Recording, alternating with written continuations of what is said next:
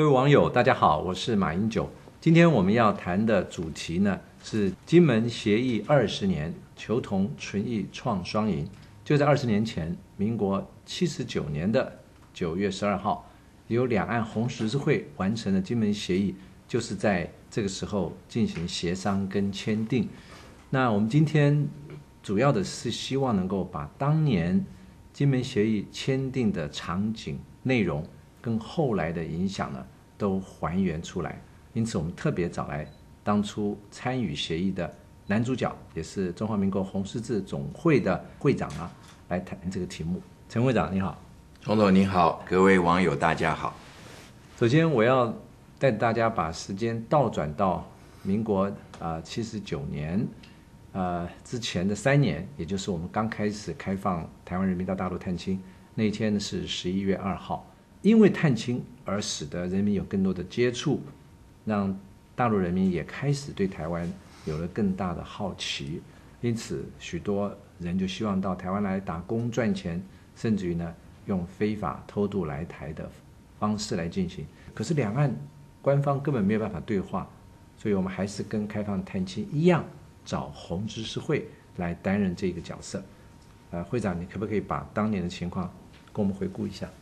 是的，呃，其实刚才总统谈的这一段过程，应该大家都蛮能够记得得。那就是，呃，因为呃两岸开始探亲，那么我记得总统当时是担任呃研考会的主委兼这个行政院大陆工作呃小组汇报的执行秘书，在当年也就是七十九年一九九零年的时候。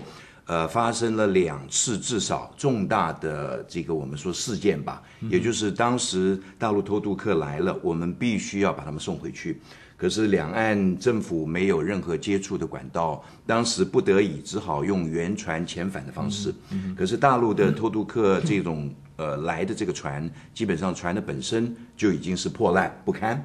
那么，原船遣返的过程之中，呃，就发生了至少两次的事故。这个事故就造成了有几十个人这个死亡。嗯，那么当时政府立刻决定。赶快把这个问题，希望能解决。那么红十字会当时的角色就已经在探亲的时候啊，担任这一个呃寻人啦、转信啦等等这些工作。所以，我们跟大陆的红十字会之间已经有了沟通。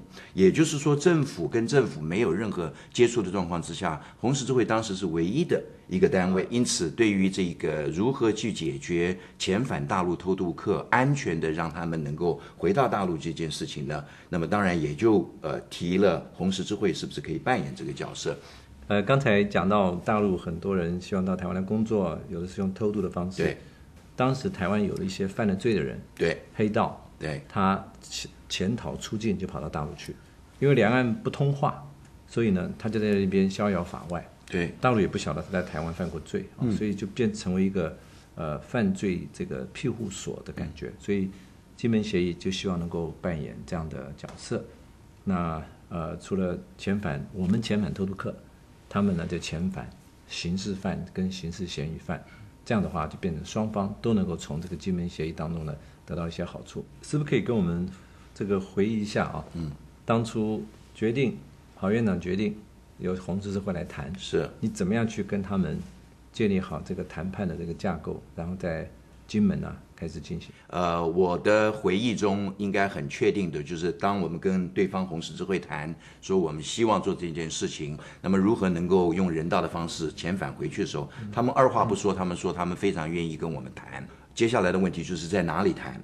我记得那是一个周末，那么我跟院长报告大概的进度。当然，在那个之前，我相信跟你跟施启阳先生也报告过。那么院长提到，我就说我们究竟去哪里？我们现在还在。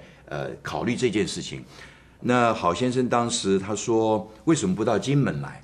可是总统，我想我们都记得的很清楚。民国七十九年，事实上，呃，金门或者是台湾，呃，戡乱时期还没有终止。嗯，金门是战地。嗯，那么共产党啊，也就是我们大陆红十字会的朋友，大部分都是共产党员，我相信都是吧。我也没机会问他们。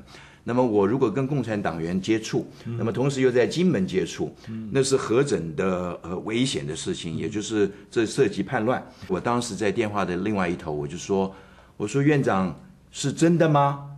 他说：“为什么不可以？”我转念之间想，哇，金门真是一个好地方，因为第一个它非常的机密，非常的隐秘。因为我们谈这个东西，在当时的情况之下，虽然是人道这个平安的这种呃安排，但是究竟如果事先就公告出去的话，那么对于谈判的这一个内容啊，那么当然会产生不必要的困扰，或者谈判的进程会产生困扰。所以当院长这么提。在电话的那一头，那是礼拜天，所以我记得很清楚。我还跟院长说：“我说你确定？”他说：“当然。”我那我就说：“院长，如果可能的话，呃，您决定是不是跟这个李登辉李总统啊，那么也提一下。”呃，院长说：“他说好，礼拜一再告诉你如何。”那我说好，如果您决定之后，我们再通知对方。这是大概的一个过程，我觉得是非常睿智的一个决定。我也看得出来，你真的是非常小心啊，把所有的环节都想清楚。你知道吗？嗯，陈会长，你这样的一个建议啊，嗯，就把金门这个地方的属性啊，嗯，做了一个历史性的转变。我愿闻其详。民国三十八年十月二十五号，嗯，这里是古宁头大捷的发生地。了解。民国四十七年的八月二十三号，这是八二三炮战的呃发生的地区。对，这两个都有很多人的死伤。没错。换句话说，过去这是一个杀戮战场。对，但是金门协议之后呢，开始把它一步一步的带往和平的广场。那你现在可不可以谈谈你们谈判的过程很困难吗？谈判过程，我想也是如刚才总统所说，杀戮的战场变成和平的广场。